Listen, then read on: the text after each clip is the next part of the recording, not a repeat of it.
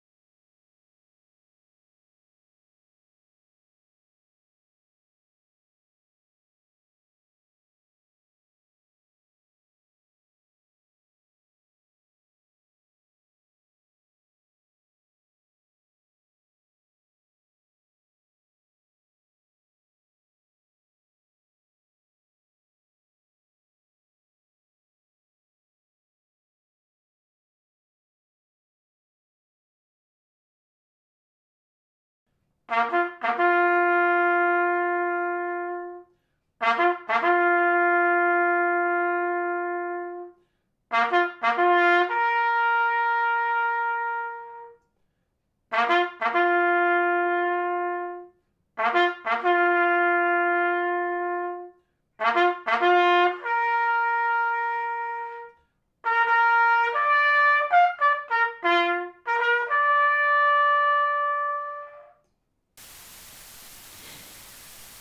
And now I invite you to turn with me in your scripture to Psalm 23. The Lord is my shepherd, I lack nothing. He makes me lie down in green pastures. He leads me beside quiet waters. He refreshes my soul. He guides me along the right paths for his name's sake. Even though I walk through the darkest valley, I will fear no evil, for you are with me. Your rod and your staff, they comfort me. You prepare a table before me in the presence of my enemies. You anoint my head with oil, my cup overflows. Surely your goodness and love will follow me all the days of my life, and I will dwell in the house of the Lord forever. This is the word of the Lord.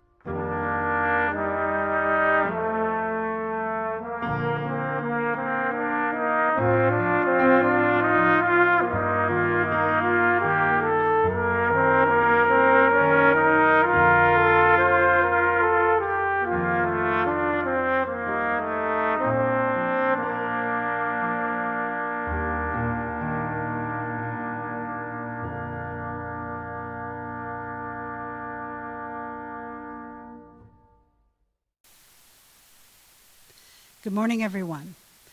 It is my privilege to introduce uh, to you Captain Donna Halsey. She is a flight nurse. She is a member of the Canadian military. You may remember Donna. She lived here in Saskatoon for several years, was a nurse um, in Saskatoon, I believe at St. Paul's Hospital. I contacted Donna at the Trenton military base, and we were able to uh, do an interview with her just to talk a little bit about um, uh, what life is like serving in the military and uh, what it's like to live out her faith in the military. So we're going to hear from Donna. We're going to look at that interview right now. Hi, Donna. It's nice to see you. It's good to see you too. We have a couple of questions. It's nice that you're joining us for our service here mm-hmm. in Saskatoon. So I would just thought um, it would be good uh, for you to talk a little bit about your life in the military, mostly because we feel like we've adopted you at Saskatoon Temple. You're part of us. So uh, I thought perhaps uh, we could just have a little conversation this morning. So let's start by uh, perhaps um, telling, could you tell us a little bit about yourself and your connection with the Salvation Army? Yeah, for sure. So, my name is Donna Halsey. I was born and raised in Toronto, Ontario, uh, in a small borough of East York. I grew up attending Scarborough Citadel and going to Jackson's Point Camp, but I also spent the better part of my teen years um, going to camp at uh, Beaver Creek and working there as well. Um, I am currently serving in the Canadian Armed Forces as a captain, as a nurse officer, and as a flight nurse. And um, and yeah, so that's kind of the overall who I am and what I'm currently doing. Yeah, that's great. I remember when you came to Beaver Creek. yeah, Ontario girl, and we we yeah. worked with the camp and mm-hmm. friends, lots of connections at Saskatoon Temple. Yeah. Exactly. Yeah, I was 16 and it definitely changed the path of so many things and did four summers and met some people that led me into things like tree planting and traveling to different parts of the world and trying new things and got me more on the path to nursing and all that kind of it's just amazing uh, that one little change in your direction it leads to and even led to me spending eight years in saskatoon so great great yeah so, can you tell us what motivated you to join the military? So it sounds pretty typical, but I uh, there was an exhibit like, like a, an exhibit at the high school uh, in East York, and I just started talking to one of the recruiters, and they were talking about all the different opportunities, and um, we have an ongoing joke in the military of like they they kind of get you excited. They're like, "Do you like camping?" Things like that. Where I'm like, I like camping, but you know, they were talking about uh, medical opportunities, and I was already looking into nursing, and I was already thinking of nursing and mission work and different ways of nursing that wasn't just bedside hospital nursing. So I looked into that, and so when I was 17, 18, I actually did try uh, applying and doing all the different testing, but I didn't pass the fitness tests. Uh, which was totally fine because as, as a 17 year old going directly into the military and then they would have covered my university and that type of path i was not ready to be full-time military at that time.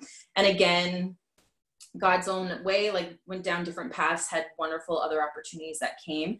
And so after mil- uh, after my university degree was finished i moved to saskatoon and out of a fluke parked across from the recruiting center and then walked in and everything just went seamlessly.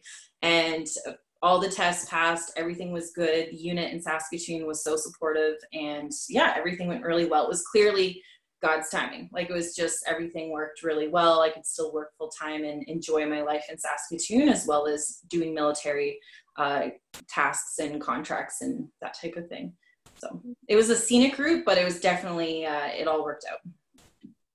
Yeah, that's uh, that's really interesting. And uh, you had worked at St. Paul's, or was it St. Paul's you were working out of? Yeah, yeah, I worked at St. Paul's as well as City Hospital. Right, right. So then you did you were in the reservist, or was it? How did that work?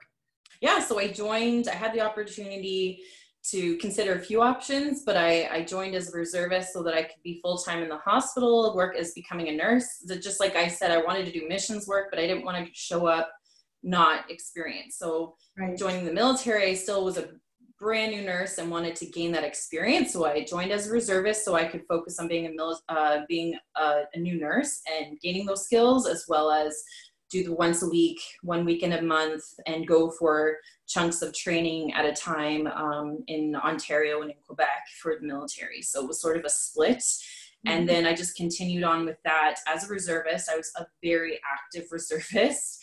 I managed to get my trade qualifications within 11 months, like just one right after another it was really quick.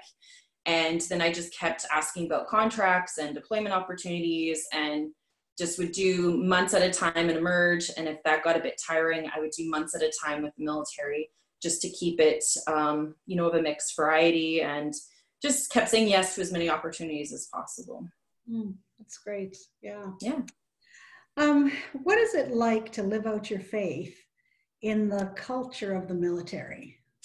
It's it's challenging, but it's still you know very directional. So there's a lot of resources for many things whether it's for um, you know uh, mental health or whether it's for spiritual health or physical health. There's a lot of resources in the military and they have chaplains they have what they call padres of all variety of faiths and there's multi-faith facilities on every base, every single base, um, which have been very useful that I found as well. Um, and every deployment, every operation has chaplains and padres available to all members as well. Uh, every unit, military unit, has a padre that's assigned to them that's always accessible. Everything from needing to uh, talk through arranging bereavement leave or extra resources that you might need. So they do have those very much available. Um, and so it's it's it's just kind of like anything where there are some day-to-day things and situations that can be more challenging than others what the situation is what it's like with your coworkers. Um, there's a lot of uh, you know a community culture for sure that can both help you on your path and cause more challenges on your path but it's definitely been something that if there's a resource that is needed it's not too hard to find which is helpful mm, that is that's encouraging to hear that yeah. you've got support. Yeah. That's great. For sure. You know as we approach remembrance day it feels so strange not to be meeting together. You know we used to always meet at Sask Place right? And it was a huge this huge gathering of people. And we'd sit and we'd watch all the different uh, groups come in. My favorite was always the old guard when they came in, right? Exactly. I picture them as young men, and um, anyway, it it feels like something's missing this year, right? So I wondered how that affected. How does that affect you and and your um, companions and your fellow mm-hmm. military people? What is that going to be like for you this year? It's hard to say um, honestly like we will have some gathering information of some kind but it, it will be different. And it really is a special special time every year to gather. Um, it's you know the the chance that you have to acknowledge the fallen acknowledge the sacrifices acknowledge those who have served who who are serving in in so many different capacities at different cenotaphs and monuments across canada Mm-hmm. And I've had the opportunity, my first uh, ceremony as a military member was on the parade square at Sask Place, at SaskTel Center, with thousands of people. And I'll never forget what that ceremony was like. And being around the veterans, being around the cadets, being around my own, uh, my own platoon, like standing information behind me and that effect. And I've gathered with family when I was in Fort Langley on a military um, contract with a few dozen people in a ceremony. And I've the last few years been with my parents at a ceremony blocks away from the school I grew up attending around my old teachers and and around the, the Legion members and cadets as well. And every year it's always a bit different, but it's still that remembering. And so this year will be, I'm sure, especially different for a lot of people that um, will find it challenging to gather those who are in isolation, those who are, are older, as well as, as kids, and for any of us who can't actually gather. and it's tough but it's also very symbolic because like the whole point of remembering um, you know this pandemic is one sacrifice after another and the whole point in remembering is those who sacrificed so mm. it will be different. It's going to be challenging. Um, there's still a lot of amazing resources through Legions and through resources online. There's going to be some ceremonies to uh, to stream online and still ways to connect. Uh, one of the best parts of our day is that we are highly encouraged, which of course we do eagerly is to visit a legion and sit and chat with members and i think that will be some of the hardest losses not just having that sitting conversation but there's still ways to pay respects and to have that moment of silence. Even around Saskatoon, there's numerous cenotaphs and uh, cemeteries that have beautiful monuments that you can still attend and have your own moment of reflection. So it's just like everything else right now, a different type of sacrifice and just going to look a bit different. Mm-hmm. Yeah. yeah. Well, we will be remembering mm-hmm. uh, Saskatoon and we will be praying for you, Donna, because it does feel like you're part of us, right? And so we want to we want you to know that we'll be praying for you and all that God has in store for you. So I just want to thank you uh, for taking the time to join us and to share um, a little bit about your life. So um, anyway, God bless you and thank you so much for joining us today.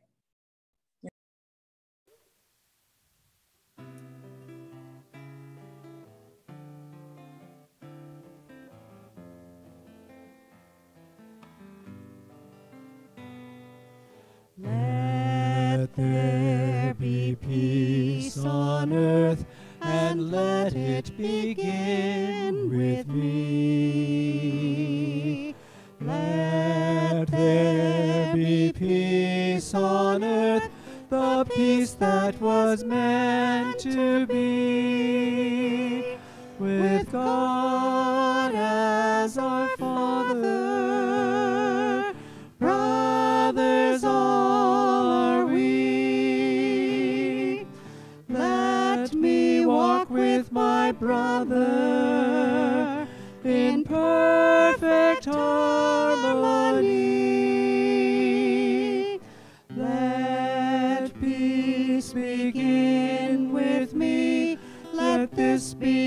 the moment now. With every step I take, let this be my vow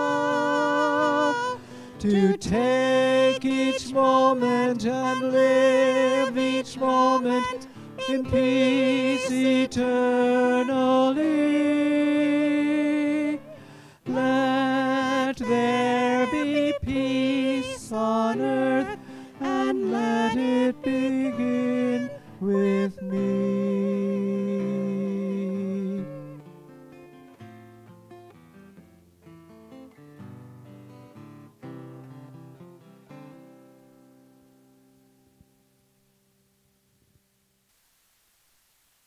Thank you for joining us this morning. We're going to just conclude our service with a benediction. Please bow with me. Go out into the world in peace, and in Christ's name be the humble who make others proud. Be the poor who have riches to share. Be the weak who help others be strong be the empty who overflow with loving kindness. Amen.